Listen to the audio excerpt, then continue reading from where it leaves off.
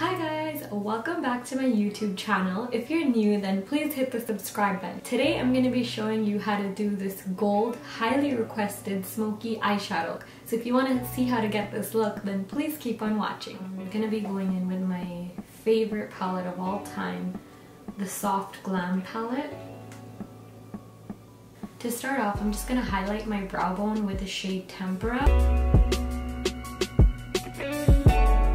With a fluffy crease brush, I'm going into the shade called Orange Soda into my crease, and I'm going to keep this kind of high.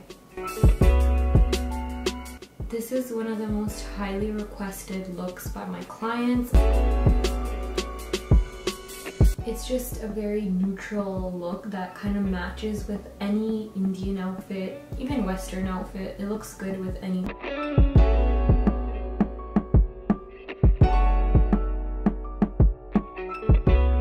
Now with a tapered brush, I'm gonna go into the shade Burnt Orange and I'm gonna be keeping this in my crease as well, but a little bit lower than the first shade. And you wanna make sure you blend everything out so you do not see any harsh lines.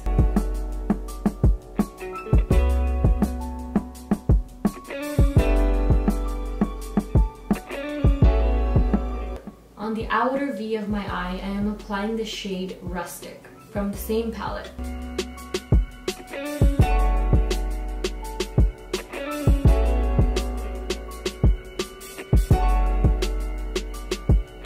Okay, and then slowly I'm going to take that into the crease.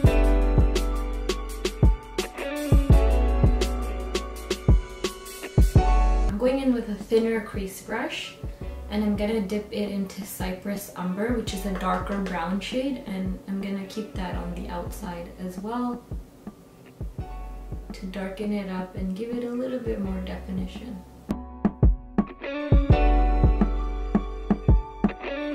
And then again, slowly I'm bringing that into the crease a little bit. But you wanna make sure, again, it's not harsh. It should be blended properly.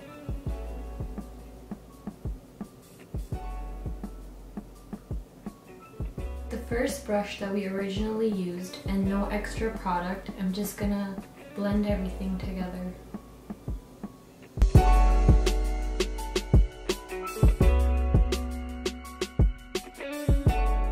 Now with the flat shading brush, I'm gonna be dipping into a gold shade called Fairy from the Soft Glam palette as well. And I'm gonna pat that right on my lid.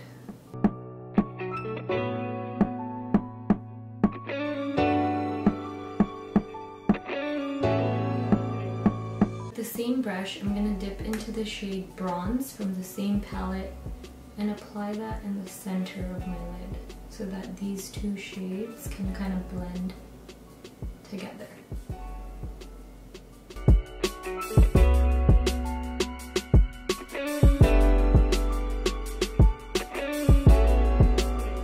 go back to the thinner crease brush that we used and we're going to apply a little more brown Again, it's gonna tie all these shades together by doing this. I'm kind of flicking this outward. I'm